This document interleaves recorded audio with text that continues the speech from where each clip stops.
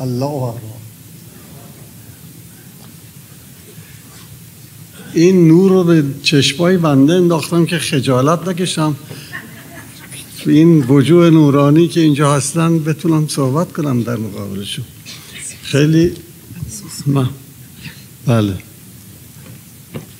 خب این حتما باید نور باشه بله؟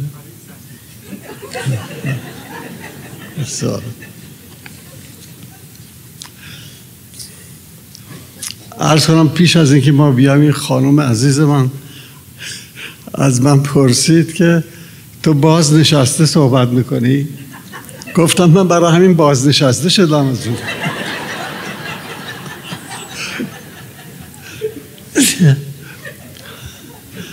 عرض کنم که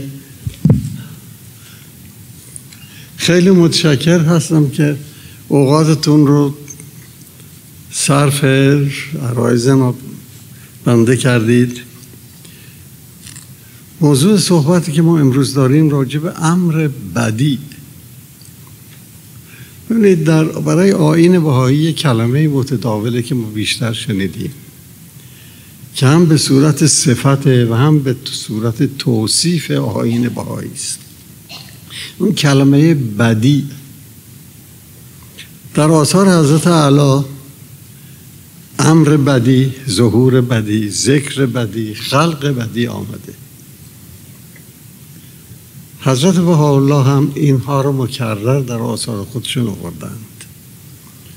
حتی اضافه فرمودند. مثلا راجبه کلمت الله میفرمند مانند نسیم عنایت که در سهرگاهان مرور می نماید ازام رمیمه را حیات بدی عطا می در لوح احمد فارسی می به چشم سر و سر امر بدی امر را ملاحظه فرمایید. دیگر در موقع در توقیات مبارک هم زیاد از حضرت ولی امرالله شنیدید که علاوه بر اینها اصطلاحات نظم بدی طرح بدی آمده. در ایامی که در ایام جنگ که باب زیارت مسدود بود و سالها بود که با ایران از شرف لقای حضرت علی الله محروم بودند. تصادفی پیدا شد وقایعی پیش آمد که پدر بنده به استثناء این موهبت رو پیدا کرد و به او اجازه فرمودند. 19 روز حضور مبارک. در یادداشتاش نوشتند که روزی در حدائق حول مقام اعلی مش میفرمودند در رکاب مبارک. از ایشان پرسیدند این حدائق حول مقام رو نسبت به باغهایی که در تهران هست چگونه می‌بینی؟ مقصود ایشان باغهای کاخهای سلطنتی بود. پدرم عرض می‌کنه قربم قابل مقایسه نیست. می‌فهمم بله همینطور است. همه چیز این امر بدی است. بدی از سماوات و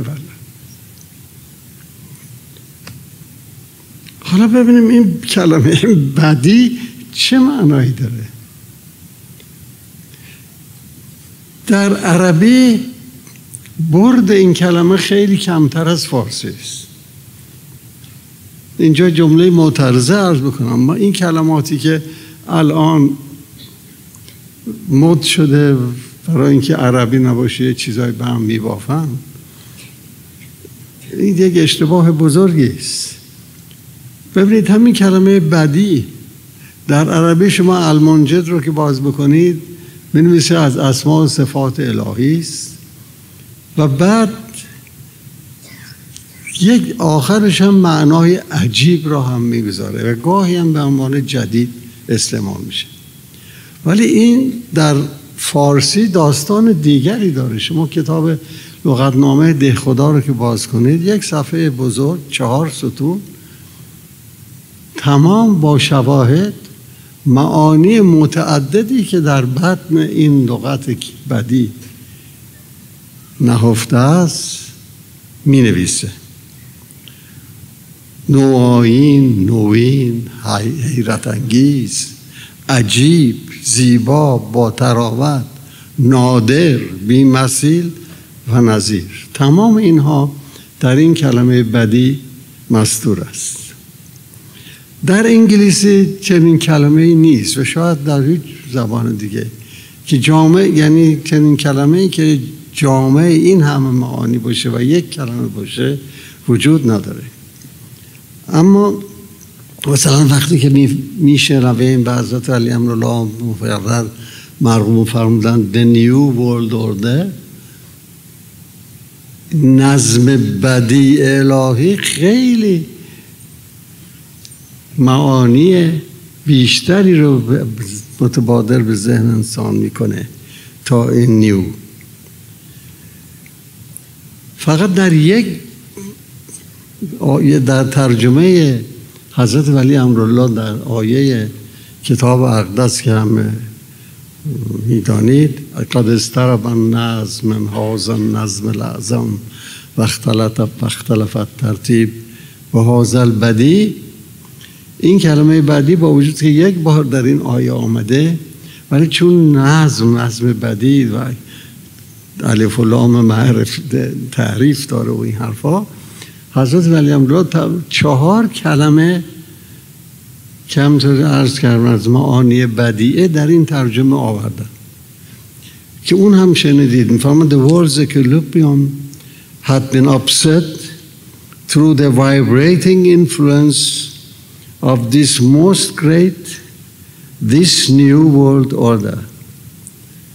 Mankind ordered life had been revolutionized through the agency of this unique this wondrous system این چهار کلمه unique wondrous new most great اینها تمام از کلمه بدی است که حضرت علی عزیز امرالله با وجود که بدی در اصل یک کلمه هست ولی چون این موضوع هست و این کلمه بدی این همه معانی داره به این ظرافت و به این مهارت در این ترجمه آورده. ببینید حالا ببینیم چرا این امر بدیه. در یک عبارت عرض می‌کنم که برای این است که در آین بهایی پدیده دین مستطره. ولی آین بهایی خیلی بالاتر از دینه. این خیلی به نظر من مطلب بسیار مهمی است و روز به روز ما رو متوجه می‌کنه که در طرز تبلیغ و همچنین معرفی امر مبارک به این نظر متوجه باشه و چنین امر بهایی رو عرضه کنیم. برای اینکه ببینید الان به واسطه این قرض ورزی ها ریاهکاری ها و انحطاطی که در ادیان هست همه از دین بیزارند.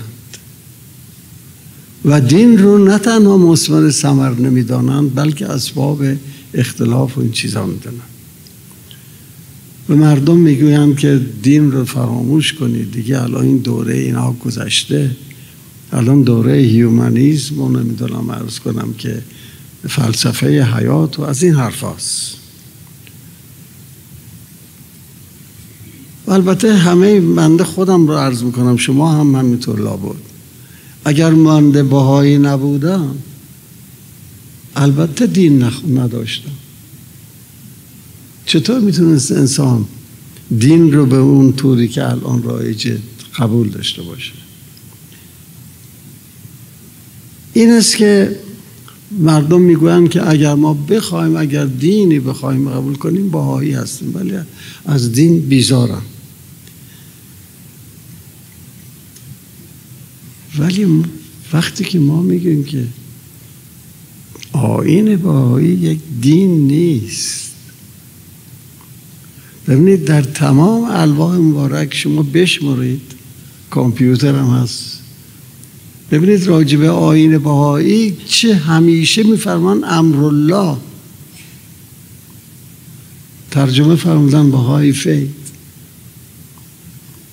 دین الله و شریعت الله و اینها هم هست. ولی نصف از تعداد به کلی قابل مقایسه نیست با امرالله. حالا بنده عرض بکنم دو کوتیشن از همین کتاب نظم جهانی بهایی دول داده با الله حضرت ولی عزیز امرالله نقل می‌کنم. ملاحظه بفرمایید که چقدر اهمیت داره. میفرمایند آین بهایی را نباید فقط ظهوری از ظهوراتی دانست که در احیای روحانی بشر در سرنوشت دائم و تغییرش پدید آمده است. و نیز نباید آن را فقط دینی دیگر در سلسله تکامل ادیان شمرد و آن را حتی به منزله اوج ادوار نبوت انگاشت. و حتی بهترین دین رو هم نباید بگیم بهترین دینه. بلکه آین بهایی را باید مظهر آخرین و عالیترین مرحله تکامل نظم حیات اجتماع بشری در کره زمین به شمار آورد. کاملا می‌فهمند که امر بهایی یک دینی از این سلسله تکامل ادیان نیست. و حتی می‌فهمن اون رو نباید عالی ترین مرحله وحی و نبوت دانست. در جای دیگه به ملاحظه فرماد از این هم واضح تر میفرمند و بنده تا وقتی که ترجمه نکرده بودم متوجه این مسئله نبودم. و خیلی حیرت انگیزه این چیزی که حضرت ولی امرالله برای بنده که خیلی عجیب بود. میفرماید آینی که حضرت بهاءالله اعلام فرمود از اینکه آن را نهزتی یا مسلک و انجمنی بنامند امتنا ورزید. زیرا چنین عناوینی را بر نظامی اطلاق نمودن که حقایق مکنونش هر روز از پس پرده برون می آید خلاف انصاف است و نیست خود را یعنی آین بهایی خود را از انتصاب به عناوین و القاب دیگری از قبیل فرقه بابی مذهبی آسیایی انشعابی از شیعه اسلام که نفوس قافله و بدندیش حسب المعمول به آن می‌دادند بری دانست. اینجا رو خوب گوش کنید. و بالاخره از قبول توصیفاتی مانند اینکه امر بهایی فقط یک نوع فلسفه حیات است یا فقط التقاطی از تعالیم اخلاقی است یا حتی یک دین تازه است ابا ورزید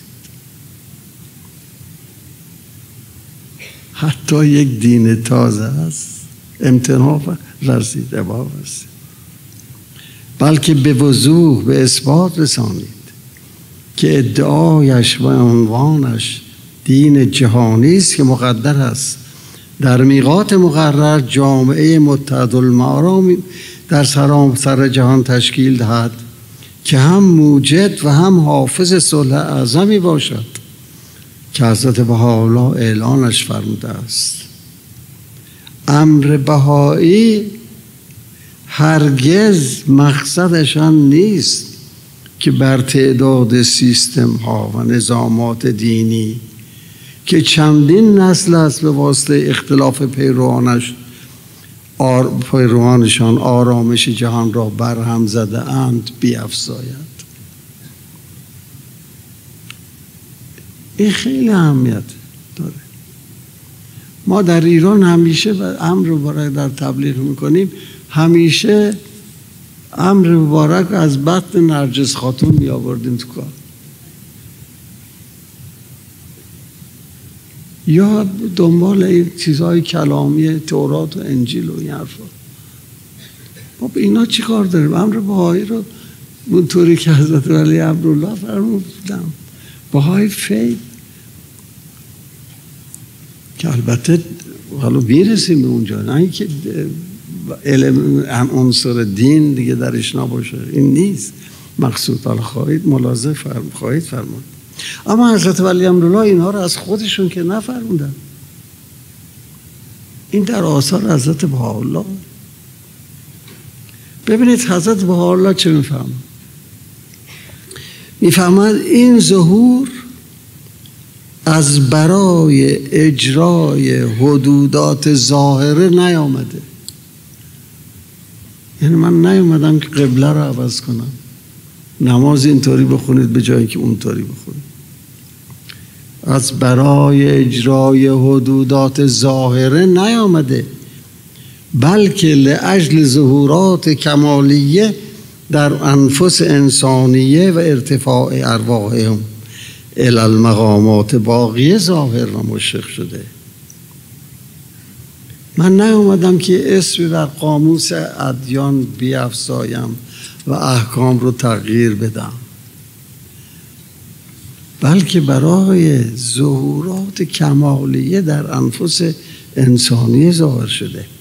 ظهورات کمالیه اونطور که در آثار مبارک مستفاد می شود در عالم فردی همان عبارت از خلق جدید یا بدی است که انسان را که طرف معجونی است که از فرشته فرشته و سیوان به مقام فرشتگان میرسان در این باره در این سخنرانه های جناب دانبار و جناب دکتر شاپور راسخ ملاحظه فرمودید.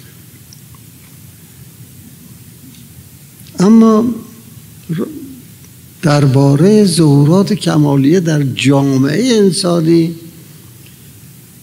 عبارت سوق دادن عالم متشدد سرگردان و بیپناه به سوی هدفی و ملجعی که مرحله قالی مرحله قایی تمدن انسانی و اصل ذره نیست که سیر تکامل بشری روی به آن سود دارد و قوه محرکه ماشین چنین تمدنی همان ظهور حضرت بهاءالله امر بدی ظهور بدی است. در توقیع شکفته شدن مدنیت جهانی unfoldment of the divine civilization. حضرت ولی امرالله بیانی را از جمال مبارک نقل می‌کنن که اصلش پیدا نشد. مضمونش به ترجمه از روی انگلیسی اینه که میفرمان در این عصر روحی بدی سبب حرکت ملل جهان گشته که تا کنون احدی به علت آن پی نبرده و سبب آن را نشناخته است. حضرت عبدالله میفرمان این موهبت کبرا و این منقبت عظما حال اساسش به ید قدرت الهیه در نهایت متانت بنیان و بنیاد یافت و به تدریج آنچه در هویت دور مقدس است ظاهر و آشکار گردد. حالا مردم از دین چی می‌دونن؟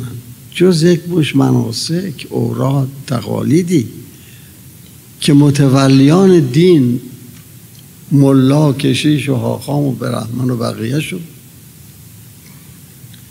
برای قبضه کردن مردم و سو استفاده از احساساتشون بر رایج کردم. ولی حضرت الله چه میفرماند عین بیان مبارک اینه. می‌فهمد اعمال و افعال حق مشهود و ظاهر مثل امانت و راستی و پاکی قلب و ذکر حق و بردباری. میفهمان این امور اعظم و اسبق آن اند حق مذکور. و دیگر می‌فهمم مابقی احکام فروغیه ببخشید. مابقی احکام فروعیه در زل آنچه مذکور شد بوده و خواهد بود. یعنی اون چه که مؤمنان دین می‌خوانند و علت امتیاز خودشون به نسبت به هم می‌دانند همین مناسک و آدام و رسوم پوسیده است. مثل اشاع ربانی مثل عرض کنم که زبه عید قربان و نمی‌دونم یوم کیپور و دورگا پوجا و از این حرفا. ولی فرمان در امر مبارک حضرت با این امور اسبق و, و ازل امور نیست. میفرماد این احکام فرویه در زل آن امر بدی است که به کلی تافته جدا بافته است. که مقامش معالاتر و مقصدش والاتر از دینه. حالا در اینجا نباید ما این توهم برای ما حاصل بشه که بگویم چون احکام فرویه احکام فرویه در زل این امر بدی است و پیش خدا اون اهمیت اصلی رو نداره. پس بنابراین چندان اهدیتی نداره که ما اجرا نکنیم. این هم درست نیست. برای اینکه سوء تفاهم رفت بشه و فردا بنده رو به زحمت نیندازید. بگه که فال کف گفتم این است که حضرت ولی امرو رو ببینید چی می‌فهمند می‌فهمند رعایت و اجرای احکام. غیر از اصول و مبادی این آین است ضروری و واجب است. زیرا احکام با مبادی و اصول بهایی جدایی ندارند و هر دو به منزله تار و پود مؤسساتی هستند که بالمعال بنیان نظم جهانی حضرت بهاءالله بر آن استوار می گردد و امروز جامعه بهایی در شرق و غرب همه نوع فداکاری لازم را مبذول می دارند تا فواید و کفایت آن مبادی و احکام را معلوم و اصالتشان را محفوظ دارند و ظهور نتایجش را تحصیل نمایند.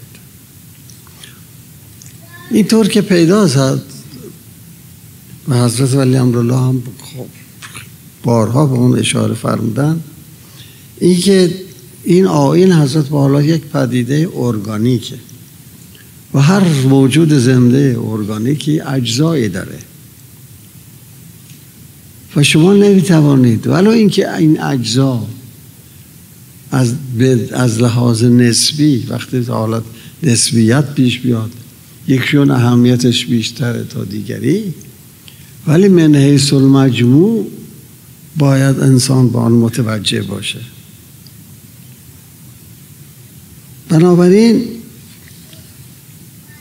همونطور که شما دیدید در شرق مثلا البته الان که امر پیشرفت کرده خیلی فرق کرده ولی در وحه های گذشته در عصر رسولی مخصوصا و که این مفاهیم تازه اصلا در عالم وجود نداشت. این بود که با هم حقیقتا به این افکاری که ما امروز بحث می‌کنیم آشنا نبودن. این بود که از امر مبارک همون احکام و درس کنم که حدود و احکام رو اهمیت می‌دادن. اهمیت امر بهایی امتیاز امر بهایی در نظر اونها حقا برای اینکه چیز دیگه ای نبود. همین احکام و حدود بود که ما شما روزتون خیلی مشکلتر از روزای ماست مثلا. یاد ما حضرت با سه تا نماز برای ما صادر فرمودن که یکی از یکی دیگه بهتر مثلا. حالا در غرب برعکس. بیشتر این جنبه های بین المللی امر مبارک بشه اعتنا می شد و توجه می شد نظم بدی اصول کلی مبادی روحانی تصاوی زن و مرد از این قبیل حرفا. ولی الان حضرت ولی امرالله میفرمان هر دو این از امر مبارک جدا شدنی نیست. ولی خب البته ملاحظه فرمایید یک اتومبیل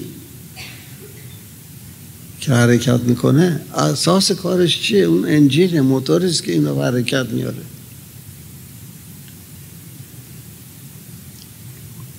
خب این اتومبیل اجزا هم داره. یه لاستیک اتومبیل داره که شما 300 دلار می‌گیره یه لاستیک می‌خواد ولی یه اتومبیل بخواد بده چندین هزار دلار باید پول بده. ولی اگر این لاستیک رو اعتنا نکنید به این موجودی به کلیت این موجود توجه نکنید این اتومبیل از حرکت به طرف مقصد محروم مونه بنابراین ما باید امر مبارک رو به صورت یک یک کل نه یک جز ناظر باشیم البته این یک جمله معترضه باز عرض بکنم. شما خواهید پرسید چون که بندم؟ بارها از خودم از خدا خودم پرسیدم. چطور میشه یه انسان این همه احکام به این بالایی والایی رو و بتوانه اجرا بکنه؟ حضرت البته نمیشه. حضرت ولی امرالله فرماقه ما یک مسئله علا داشتیم اون حضرت عبدالبهاست ولی خداوند رحمان رحیم به ما فرموده که هیچ کس مسئول بیش از این که استعداد داره مسئولیت در قبالش نداره. لا یکلف الله نفسا الا وسعها. پس بنابراین ما در راه کمال مسئول خداوند تا حدی هستیم که به قدر استعداد خودمون به کار ببریم و از استعداد خودمون کم نگذاریم حالا از این جمله معترضی که بگذریم از جمال مبارک باز میفرمان از حرکت قلم از حرکت قلم علا روح جدید معانی به امر عامر حقیقی در اجساد و الفاظ در اجساد و الفاظ دمیده شد و آثارش در جمعی اشیاء عالم ظاهر و هویدا. یعنی تمام این در این بهار روحانی با وجودی که هنوز یخها آب نشده و هنوز هنوز برفها هست ولی این جوانه ها به خاطر اینکه این ارز کنم ربیع روحانی بهار روحانی دمیده جوانه زده و بیرون آمده و به زودی یک جنت ابها رو در آب, وسیط قبرها به وجود خواهد آورد. همونطور که حضرت عبدالبها فرمودن آنچه در هویت این امر مستور است به تدریج ظاهر خواهد بود اما ظهور جمال مبارک برای آماده شدن جهان است که نمایشگاه اراده الهی برای بشر خاکی باشه. ببینید محور تعالیمش رو فرموده وحدت عالم انسانی. حالا این وحدت عالم انسانی رو حضرت بهاءالله در چه وقت فرمودن؟ در وقتی که اصلا عالم وجود نداشت در نظر مردم.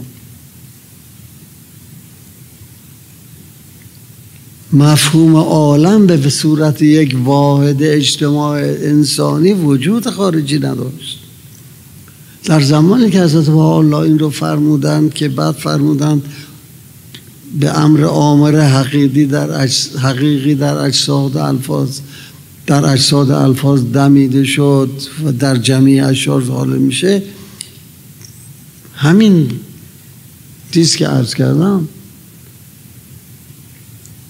عالم به صورت یک واحد مجتمع انسانی مفهوم نبود. ولی حضرت با الله فرمودن این عالم یک وطن است و من الارز اهل آن. کی فرمودن در قرن نوزدهم. در قرن نوزدهم بزرگترین واحدی که این بشر و بعد به تاریخ تا اون زمان بهش واصل شده بود مسئله وطن و نیشن بود. ناسیونالیزم بزرگترین مرحله اجتماع بشری به وجود شمرده می شد خصوصا مفهوم وطن وجود نداشت قبلا.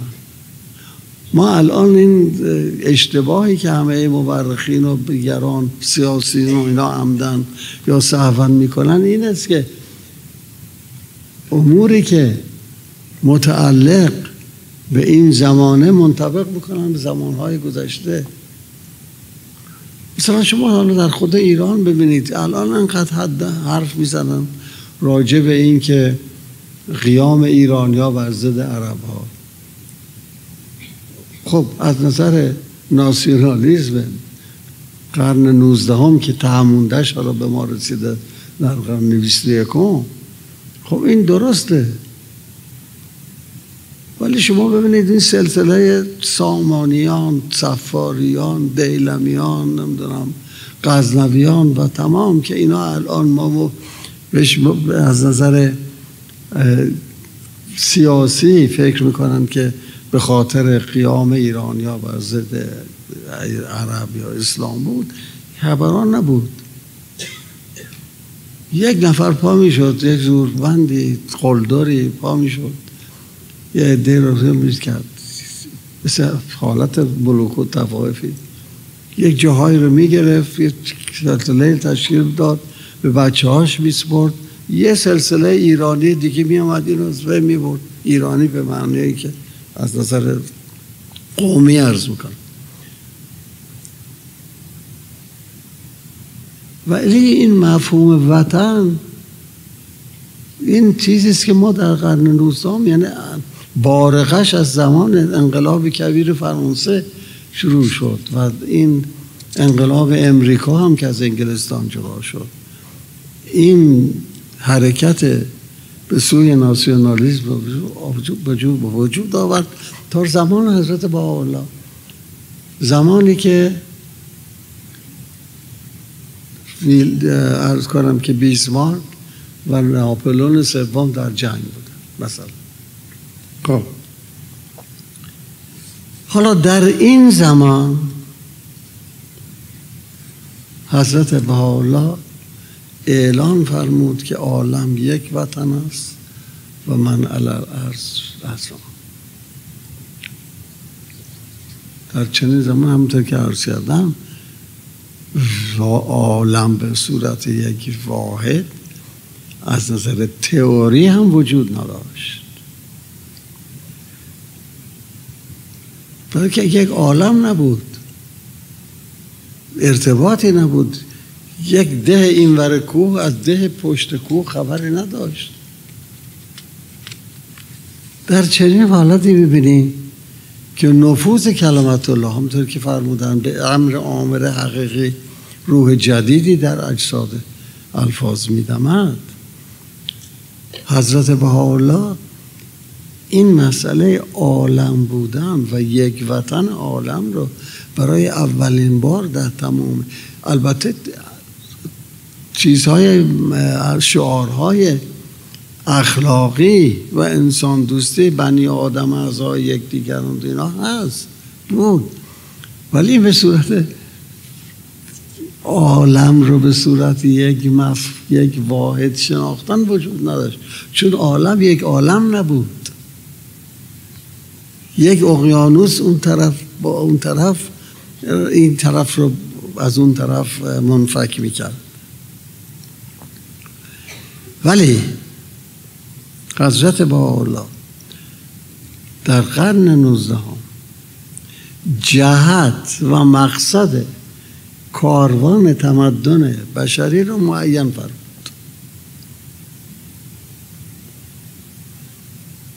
این جهت این هدف و مقصد ابدا هیچ ساربانی از این کاروان بشری اون مقصد رو نمی‌دید. ولی جهتش را حضرت الله معین فرمود. از این جهت بود که وقتی شما در اون وقت به یک اروپایی مثلا می‌گفتید که عالم یک وطنه و اتحاد وحدت عالم انسانی به ما میخندیدند. می‌گفتن شما پرت و پلا میگی. کجا یک وطنه؟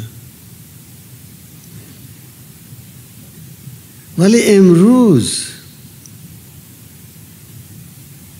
هیچ کس نیست که دم از globalization نزنه. همه این حرف رو می‌زنن. چرا؟ برای که یک امری که از اول پیدایشش. تمام قوای عرفی و مذهبی برای خفه کردن از بین بردنش دست به دست هم دادن و موفق نشدند. حضرت بهاءالله در اون زمان فرمود اگه منو در زمین دفن کنید از دریاها سر بیارم و میگم انا محیی العالمی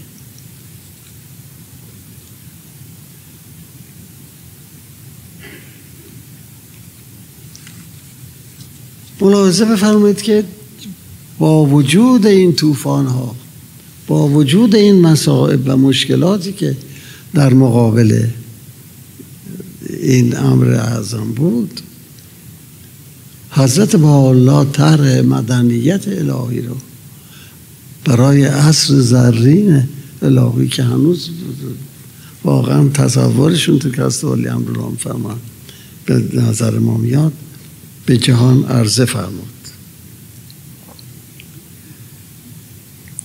ما در اینجا باید ذکر بکنیم. به ستایش بکنیم. این مؤمنین اولیه ما خودمون رو.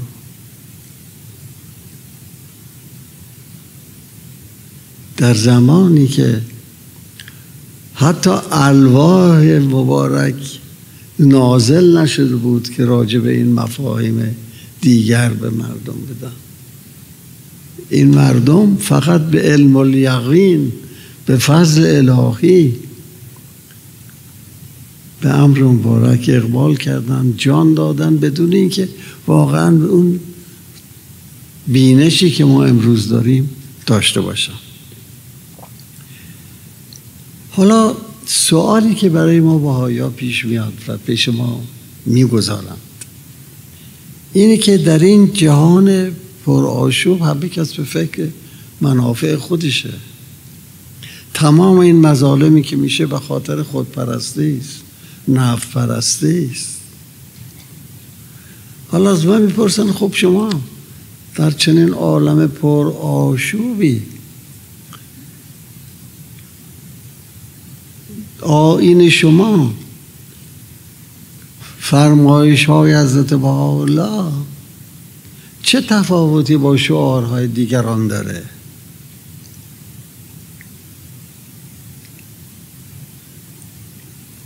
جواب این سوال رو از دو راه می‌تونم به نظرم داد.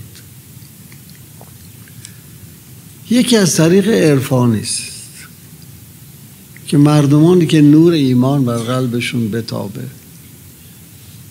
به دلایل متعدد که بسیاری از اونها از اسرار. به فهم ما نمیاد. اینها به علم و یقین می‌رسند و بی چون و چرا بدونی که اندک تردید داشته باشند می‌دانند یقین دارند که آنچه از قلم مبارک مظهر ظهور الهی صادر بشه انجام شدن نیست. سر تسلیم نهادیم به حکم و رعایت یا تا چه اندیشه کند حکم جهان آرایت اما نسل معاصر ما که ارز کنم که وراس اون مطالع الانوار در دوره عصر رسولی هستیم امروز برای ما ظاهره بیشتر ما متوجه این هستیم که چه خبره در عالم؟ چه عالم عالم دیگری طرح نوعی در عالم به وجود آمده؟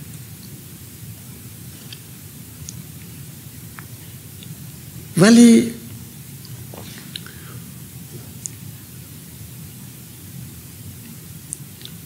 برای اینکه می‌بینیم حالا من عرض می‌کنم بعد خدمت شما.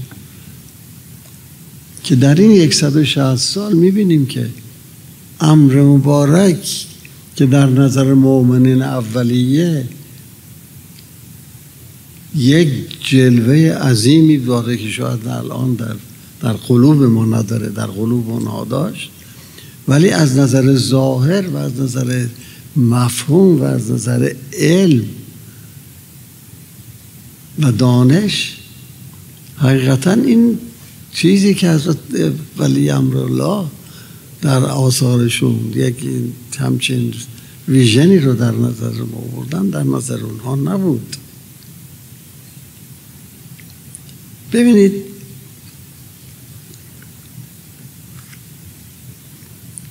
همطور که عرض کردم حضرت الله همطور که عرض کردم فرمود که برای اجرای حدود و احکام ظاهره نیامده. میفرماد حق جل جلاله برای اصلاح عالم آمده تا جمیع من الارض به مسابه یک نفس مشاهده شود. در جای دیگر میفرماید مقصود از این ظهور اعظم اصلاح عالم بوده و هست. ایجاد یک دین تازه نبوده که فرمودم. درباره امتیاز امر و آین خود فرموده است که ای اهل عالم فضل این ظهور اعظم آنکه آنچه سبب اختلاف و فساد و نفاق است از کتاب محو نمودیم و آنچه علت الفت و اتحاد و اتفاق است ثبت نموده. این بیان مبارک نشان می‌دهد که این که تعالیم الهی فرمودن بر محور وحدت عالم انسانی میگرده فقط یک شعار شاعرانه نیست. بلکه حضرت با الله میفرمند که بر سر راه اون چه سبب صد و مانع پیشرفته این کاروان تمدن بشری به صورت بس در سیر تکاملیش هست برداشتیم و به جایش تعالیمی آوردیم که این قوه محرکه این کاروان باشه. اما هنوز ظاهر بینان که مانند بهایی ها دیده جهان بین ندارند مشکلات دنیا رو به رخ ما می‌کشن که ای بابا این حرفا چیه؟ شما هم می‌زنید. از رواندا و بروندی میگن از این وقایع سربیا و ارز کنم که ممالک سایر هرزگوینا و این حرفا. بوسنیا صحبت می‌کنن. عراق صحبت می‌کنن. افغانستان صحبت می‌کنن. خب.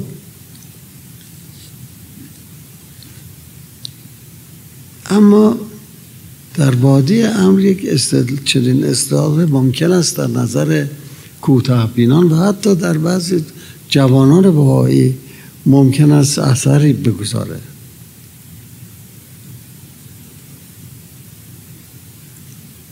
خود حضرت با چی میفرمان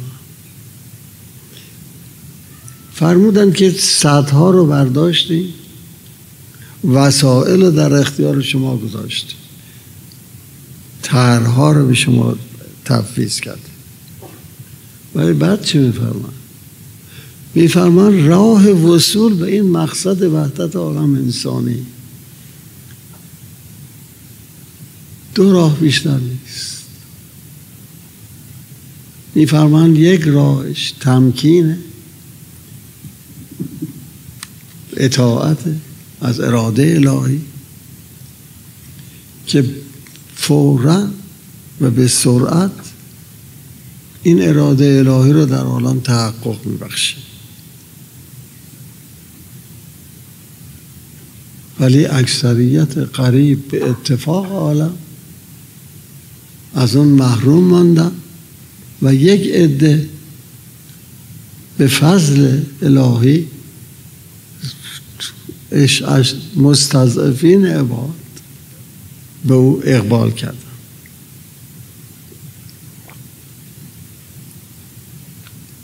راه دوم چی فرمودن؟ فرمودن که اگر شما بشر از این امر محروم بمانه یک راه پر ملالی در پیش خواهد داشت. جنگ جدال خونروزی بلا مصیبت. از شش گوش شش جهت بر انسان وارد میشه. مشد و هرج و مرج به جای می‌رسه که دیگه قوه تحمل نمیمونه برای کسی. حضرت بهاولان فرما حتی توصیف این هرج و مرج به طوری است که قلب من به لرزه میفته از این حرفا. افسوس که بشر راه دوم رو انتخاب کرد. و ما در آستانه این هرج و مرج هستیم. نباید دلمون صابون بزنیم که به این زودی درست میشه. خیر. حضرت علی امرالله چه میفرمان؟ این بیان مبارکه میفرمایند هر چند عواصف شدیده جهان و جهانیان را سراسر احاطه نموده و قبار جنگ و ستیز آسمان عالم را تیره و تاریک کرده و روائح کدره زغینه و بغضا مشام بنی نوع بشر را از استشمام نفات قدس که از محب عنایت جمال ابها در این عصر موعود در حبوب و مرور است ممنوع ساخته. حالا ببینید.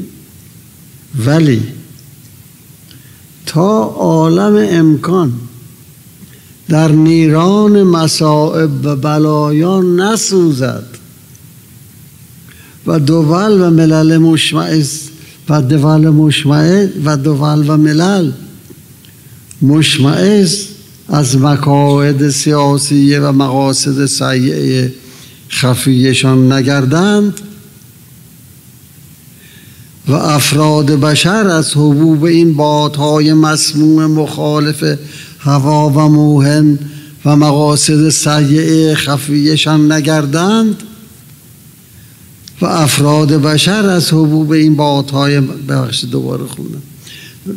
مخالف هوا و موهن پشیمان و مایوس نشوند. انوار ابدی از مشرق این ظهور کلی الهی پرتوی بر عالم نیفکند. و لبتشنگان عالمیان به کوسر عرفان و ایمان واصل نگردند. تا خسته و آزرده نگردند و متنفر از حال پر و خیش نشوند.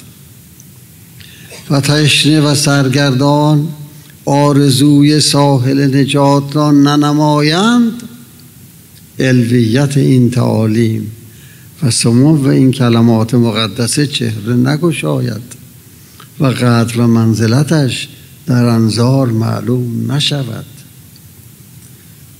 حالا بشارتش چه؟ میفرمان شبهی نیست که آن روز مبارک خواهد رسید که نفس مخربین آین و دین الهی و مروجین عقاید سخیفه مادیون عالم خود قیام نمایند و این آشوب و فتن را به دست خیش خاموش کرده بنیان بیدینی مفرتشان را از اساس براندازند و به جان و دل و به قوای اشد و اکمل از قبل به تلافی مافات قیام نموده خود را منظم به پیروان این امر مبارک نماید.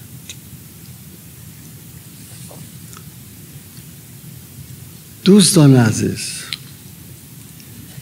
این بیانات سریع از قلم حضرت ولی امرالله می‌دونید در سال 1923 نازل شده.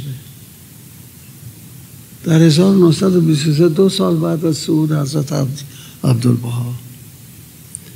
در اون وقت جنگ اول جهانی هم به وجود جنگ دوم جهانی شروع نشده بود.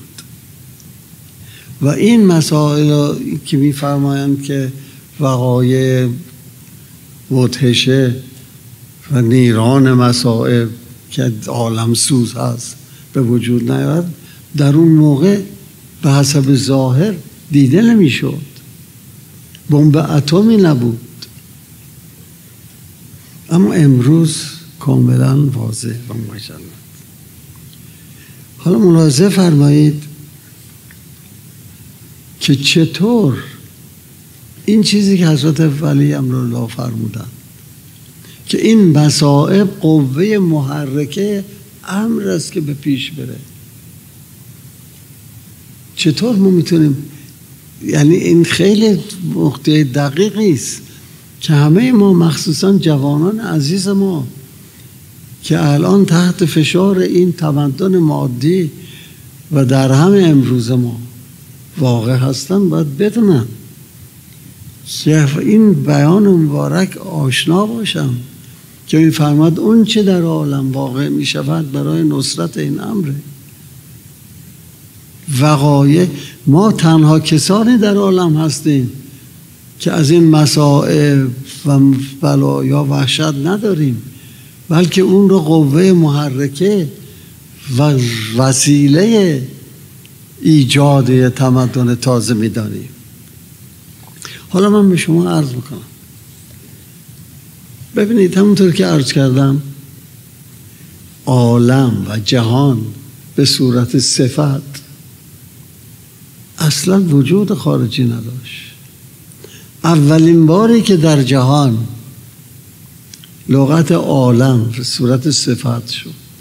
جنگ عالمی جنگ جهانی. اول بود. یعنی این صفت یک عالم در مورد یک جنگ خانمانسوز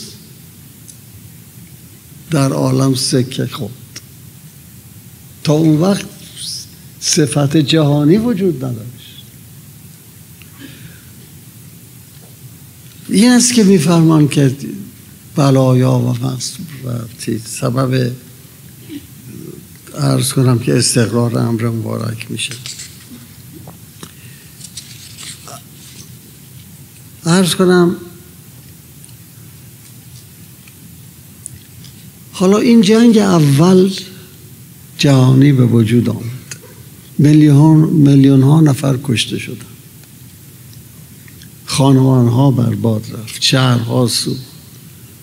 ملاحظه فرمودید و می‌دونید. نتیجه این جنگ چه شد؟ نتیجه این شد که این یک خورده این بشر دردش گرفت و این فکر ایجاد جامعه ملل یعنی یه سازمانی که حافظ صلح بشه به وجود آورد. پس بنابراین این مصیبت جنگ اول جهانی چه شد؟ جامعه ملل رو به وجود آورد که یک قدم باز این کاروان تمدن ما رو به صورت جلو به اراده جمال مبارک به پیش برد. حالا می‌دونیم ما می‌دونیم که به جایی نرسید. جامعه ملل اون نبود که حضرت بهاءالله فرمودن. ولی حضرت بهاءالله وقتی جهت رو معین فرمودن این جنگ جهانسوز یک قدم بشر رو به سوی اون هدف به پیش برد.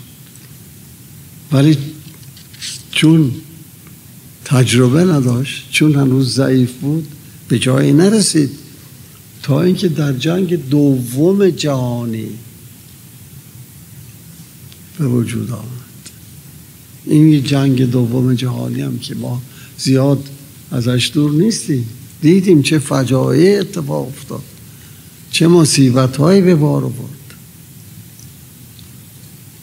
نتیجه چی شد؟ نتیجه همین سازمان ملل که نسبت به جامعه ملل قابل مقایسه نیست. نتیجه چه شد؟ اعلامیه حقوق بشره که تمام عالم تمام ممالک عالمون رو امضا کردن حالا اجرا نمی‌کنن به جدا هست ولی باز دیدیم که یک مصیبت دیگری یه همچی کاری پیدا شد بنابراین این است که حضرت ولی امرالله یا حضرت با الله فرمان اقاب عظیمی در عقب است. به خاطر همین است که این اقاب عظیم و این مصیبت ها و فلان اینها همه قوه محرکه این ماشین تمدن انسانی هستند. در زمان خود ما ملاحظه فرمودید که باز این مشکلاتی که ایجاد شد باز یک افکار تازه‌ای که موافق با تعالیم حضرت حالا بود در عالم به وجود آورد. مثلا من یادم از در 1970 یا 80 بود به نظرم. اواخر هفتاد اوایل هشتاد درست یادم نیست. که اعراب شیخای عرب بویکات تحریم نفت کرد. نفت به اروپا و امریکا نفروختن یادتون هست شما؟ لابد یادتون هست. در اون وقت اروپایی ها در زمستان سرد اروپا به زحمت ببخشید. نور زیاد هم اسباب زحمت.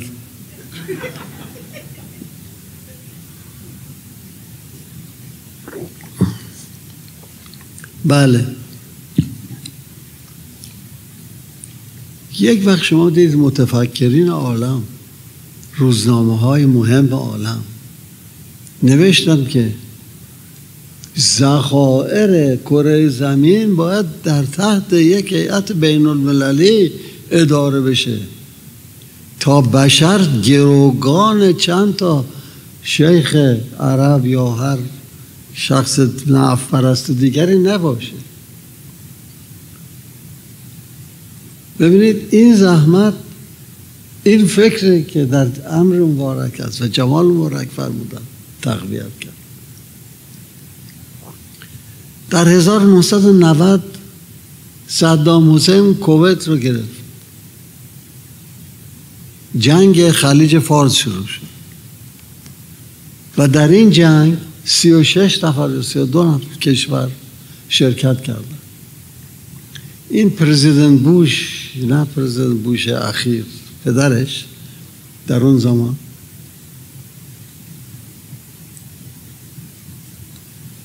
دو اصطلاح رو باب کرد که هنوز مردم در پیش هستن. یکی نیو ورلد order نظم جهانی جدیدی باید باشه که این اتفاقات نیفته. و دیگری collective security امنیت جمعی. که ببینید باز این جنگ و این زحمت سبب شد که باز دو تا دیگر از مسائلی که ما در امر بهایی مطرح است به وجود آمد. یا واقعی چرنوبیل یادتونه که این نیروگاه اتمی چرنوبیل نشت کرد و تشعشعات اتمی جای خطرناک رسید و اون در بهبوهه جنگ سرد بود و روزها ناچار شدند از تمام ممالک اروپایی و دنیا خواستن که کمک کنن که این رفع قائله بشه. باز ملاحظه میفرمایید که باز یه وقایع منفی و خطرناک. چطور وسیله این میشه که مردم به فکر این بیفتند که اون چه که حضرت الله فرموده به مرحله اجرا فرمایند اگر از بنده من گاهی فکرم می‌رسه که ببینید همین اتومبیل هایی که الان دارن راه میرن این حرفا چطور راه میرن؟ به واسطه قوه احتراقی که در این محفظه پیستون ها به وجود میاد. تا این حرارت ایجاد نشه این آتش به وجود نیاد این قوه محرکه ایجاد نمیشه. امر مبارک هم به همین ترتیب پیشرفت خواهد کرد. اون چی که از حضرت ولی امرالله عرض کردم و تراوت شد ملاحظه فرمودید که تا بشر در نیران مسائب نسوزه تا مشمعیز از مقاعد سیاسیون نشه تا چه نشه تا نشه امر مبارک استقرار نمی‌کنه. حالا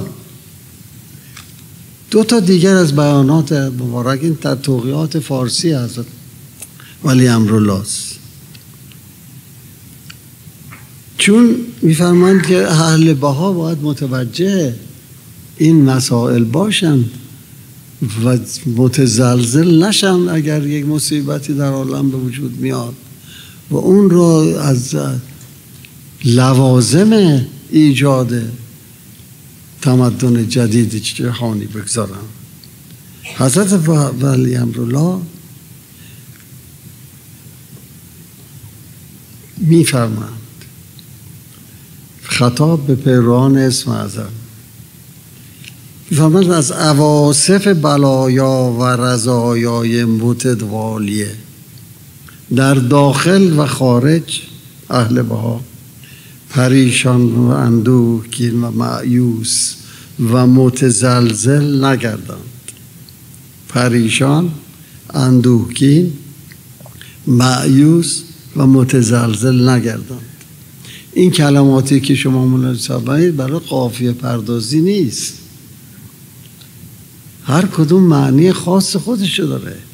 پریشان با اندوهگین و معیوس و متزلزل تفاوت داره.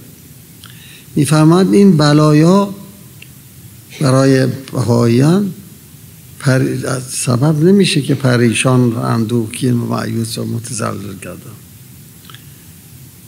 که در بهبوهه انقلاب و اضطراب و اقتشاش و اعتراض و تقیان دول و امم و قبائل و ملل چه میشه؟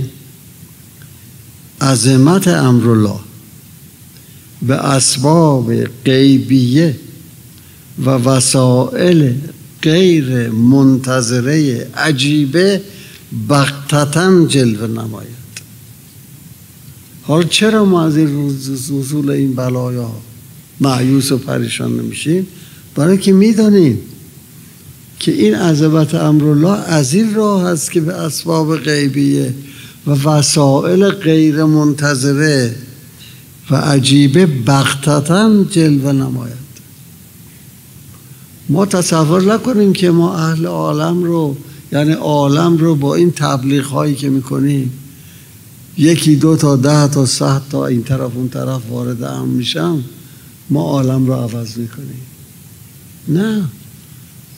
اینها البته ما ستونهایی می‌سازیم برای زمانی که اون قوه محرکه یعنی اون بلایا این اساس پوسیده تمدن کنونی رو ریخت و ما این چند سواهی که با این تبلیغ ها ارز کنم که ترویج امر مبارک رو که حال عمرمون کردیم وسیله بشه که در آینده اینها بتوانند زودتر و سریعتر به تعمیر عالم بپردازند.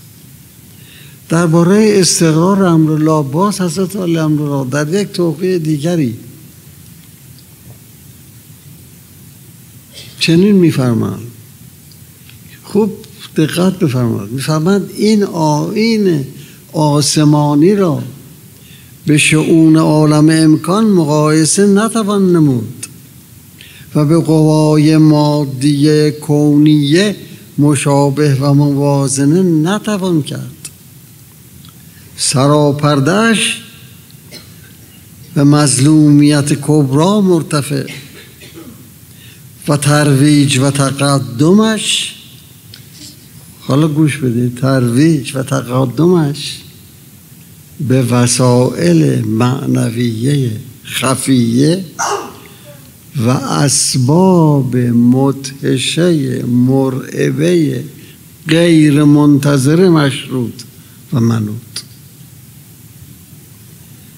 پس ترویج و تقدم امرالله به وسایل خفی غیبی اسباب متحشه مرعبه متحشه دهشت انگیز روب انگیز مرعبه.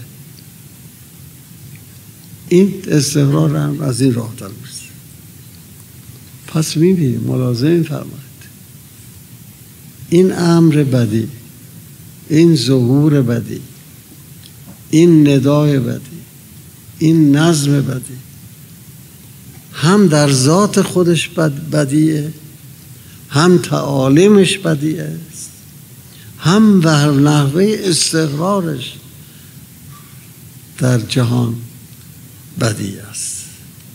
چنان که از خاک سیاه گل گلزار به بار میاد. همینطور از این عالم وحشتناک کنونی اون تمدن که غیر قابل تصور از نظر عظمت در نسل کنونی ما به وجود خواهد آمد زیرا این اراده الهی است و هیچ کس با اراده الهی مقاومت نمی‌تونه کنه